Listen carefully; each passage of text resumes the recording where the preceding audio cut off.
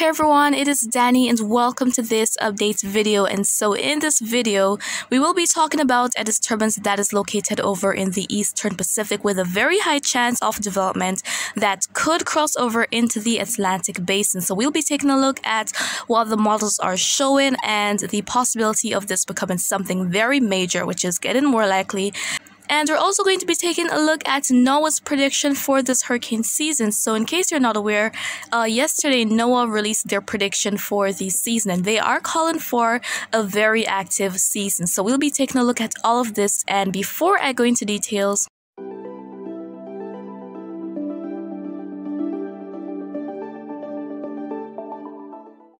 All right, and so let us start off with NOAA's prediction for this hurricane season. And so they're expecting that there is going to be an above normal hurricane season with a 65% chance of that happening. And the numbers they're expecting are 14 to 21 named storms, off which 6 to 10 could become hurricanes, and 3 to 6 major hurricanes. And in case you're not aware, a major hurricane is basically a category 3 or higher on the Saffir Simpson wind scale. So another year of above normal activity that is expected, and it is all due to that La Nina that is well on its way in the Eastern Pacific. And so, uh, when a La Nina is there, of course, we have more favorable conditions in the Atlantic for us to see uh, more tropical cyclone development. And so, that is what's going to be happening this year yet again. And so, the best case scenario in terms of these numbers would be 14 storms, 6 hurricanes, and 3 majors. However, the worst case scenario is 21 named storms, 10 hurricanes, and 6 major hurricanes. And so, guys, if you're in regions that are usually affected during the hurricane season, Talking about the Caribbean, uh, the Gulf Coast, Central America, the East Coast. Please take all the necessary precautions and stay safe because we're in for yet another round of storms. And so now let's go ahead and journey over into the Pacific Basin. Let's talk about that system that is likely to develop. So here we are taking a look at the National Hurricane Center's five-day graphical tropical weather outlook, and we have two disturbances over there. So that one there highlighted highlighted in yellow has a 20% chance of becoming something. Maybe in the next day or two we might see a little bit more organization, but that chance is quite low. That's not our focus area, guys. What is our focus area is to the right of that system. So we're seeing that that system there is highlighted in red, and that indicates that the chance is high. And so there is an 80% chance of us seeing uh, this thing here developing into a tropical cyclone and it is likely that we will see this intensify maybe into a tropical depression by the end of this week. And so it is currently to the south of the Gulf of Tehuantepec. So, uh, so Mexico should be on alert because this thing here is likely to curve and then probably travel into the Gulf of Mexico or maybe even into the Caribbean based on what the models are suggesting. So if you're in portions of southern Mexico, please be on alert. This thing here could really intensify into something very major. I mean, GFS is showing a very major hurricane making landfall. So now let's go ahead and take a look at what the model is expecting. And so we are focusing over to the bottom left side of your screen. That is over in the Eastern Pacific Basin. And you're looking where those black lines are and all of those colors. So the, uh, those black lines are isobars and they're lines of equal pressure. And when you see them being closed and tightly packed together, that indicates that we have a steep gradient and thus a very strong system. And so this is by Saturday of this week on the 28th of the month. And we are seeing that we have a tropical storm over there showing a pressure of what? About 998 millibars right there. And then as we head to Sunday, though, we see some crazy intensification with this. So GFS is expecting that by Sunday, this minimum pressure is going to be 950 millibars. That is a definite major hurricane intensifying uh, in the Eastern Pacific. And then it starts to make that curve to the north by Monday, or probably before that on the 30th of the month, second to final day of the month. And we see that the pressure has dropped even more to 938 millibars.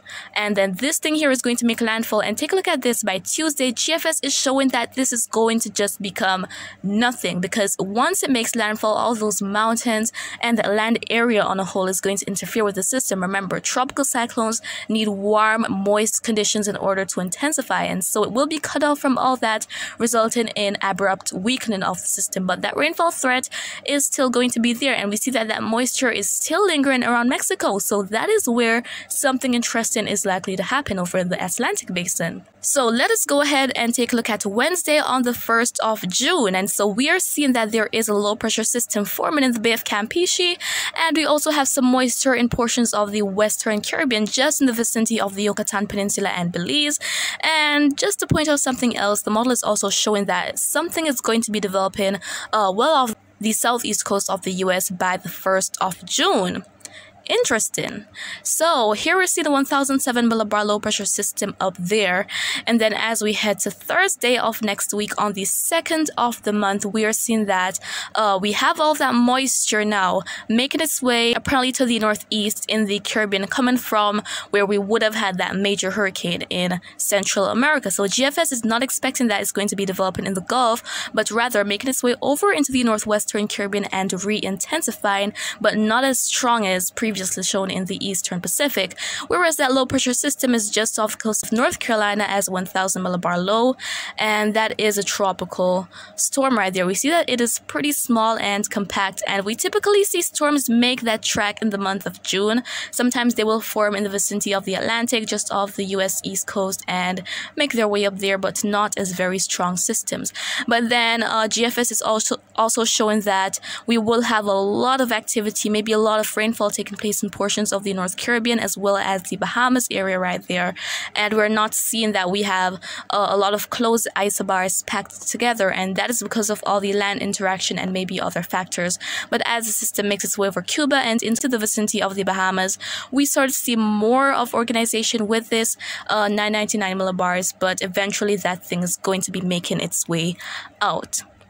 So that is quite a bit that the GFS is showing. So overall, GFS is expecting a major hurricane developing in uh, the Eastern Pacific, making its way over into Mexico, and then uh, lingering around in portions of the Northwestern Caribbean as maybe a tropical storm or so, and then making its way out into the Atlantic. And so, uh, as I said earlier, if guys, if you're in Mexico, definitely keep an eye on this. This is likely to be something very major in your region. So, uh, let's take a look at what the other models are suggesting. So Euro doesn't go as far out as the GFS, so the end of this model run is on Sunday, May 29th, and uh, we're seeing that G uh, Euro is definitely showing that we will have a tropical cyclone there, but maybe not as strong as what the GFS is showing.